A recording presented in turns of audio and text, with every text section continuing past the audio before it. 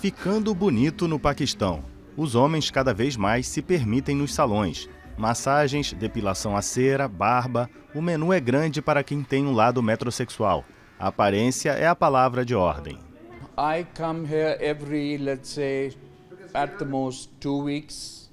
Eu venho aqui, vamos dizer, a cada duas semanas, às vezes a cada três semanas. Mas sempre que estou neste salão, não perco a chance de fazer as unhas, cortar o cabelo e passar por tratamento facial. É isso. And uh, that's it. A classe média cresce no Paquistão com o aumento da receita do país. Com mais dinheiro para gastar, o corpo acaba sendo privilegiado. Os clientes gastam em média 12 dólares por visita, mais de cinco vezes o valor pago em uma barbearia tradicional. Acho que os homens também têm o direito de ficarem bonitos. Os homens têm todo o direito de se cuidarem. Os tempos mudaram. Não é só mais uma questão de cortar o cabelo.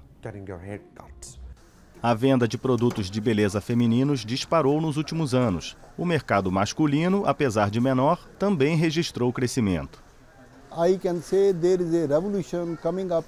Posso ver uma revolução acontecer no Paquistão na mente masculina. Eles estão ficando mais atentos à própria beleza, à própria face, sobre o cabelo, roupas. É uma grande mudança.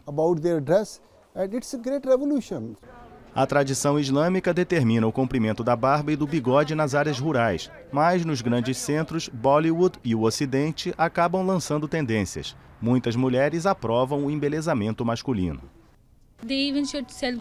Os garotos são seres humanos e devem se cuidar, como nós. Nós não passamos por tratamento de pele, de cabelo. Por que eles não podem passar por isso?